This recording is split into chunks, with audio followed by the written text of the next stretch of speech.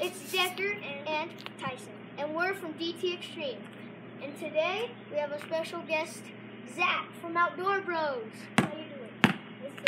Today we will be doing basketball stereotypes. We'll probably do about 10, then we'll wrap this up. But yeah, sit down, relax, and have a nice snack to enjoy it. Yeah. Let's get into it.